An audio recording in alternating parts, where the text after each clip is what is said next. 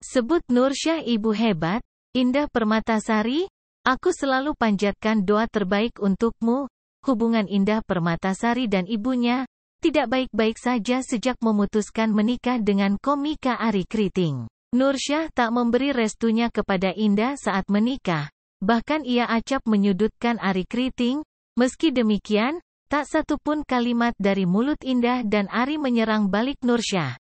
Bahkan bertepatan, di hari ibu, Indah mengunggah foto kebersamaannya dengan ibunya, kemungkinan itu foto lama saat hubungan mereka masih baik-baik saja. Dalam keterangan, Indah menyampaikan ucapan selamat hari ibu.